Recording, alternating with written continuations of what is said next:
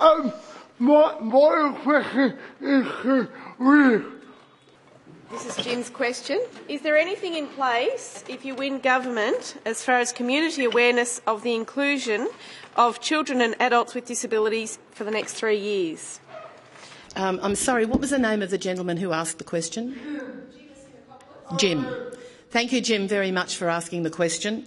Um, uh, can I preface my answer by saying that we haven't released our policies yet, and there will be something possibly in there to answer you. But our major, our major concern is, is while we talk about money and we talk about employment, what we really need to be talking about is inclusion of people with disability, whether they're in childhood or adulthood, into our community and doing all we possibly can to encourage them to have a, a contributing role as they would wish within our community. So we talk about inclusion rather than you as a person can have X number of hours, we can only afford to give you X number of services. What we should really be using is language which reflects very accurately how we believe people should be included, promoted to be included as they want in our community.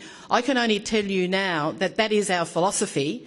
Uh, I can't tell you how we will do it now, but that is primarily our thinking that unless we can include people with disability in our community in a proactive way, then we're failing them desperately. So instead of talking numbers, let's talk about how we can, in fact, bring people in uh, and, uh, and promote their, their role in our community. They have an enormous amount to contribute. Could, could, could I talk to you about our Could I talk to you about it afterwards? Absolutely. If I've got time, I'm only too happy to stay and talk to you.